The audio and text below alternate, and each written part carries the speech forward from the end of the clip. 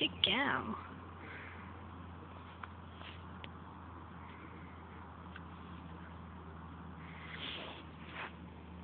Do you want to go again?